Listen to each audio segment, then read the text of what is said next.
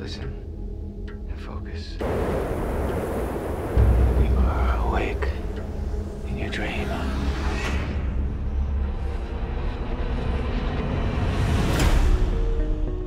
I've been experiencing sleep paralysis since I was a little kid.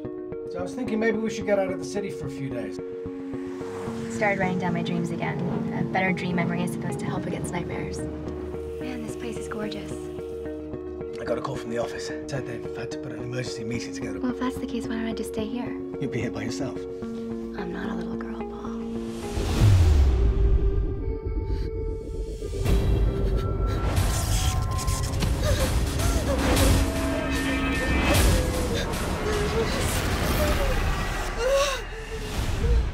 The house isn't safe, Paul. Are you sure it wasn't just a bad dream? You don't believe me. Considering your history of mental illness. Nightmares are not a mental illness, Paul. I know what I've seen. I'm getting worried about you now, Anna. You're hiding something from me. Do you ever uh, feel a growing pressure in your chest when you dream? Numbness in your limbs, almost as if you were paralyzed? I don't know what's happening to me.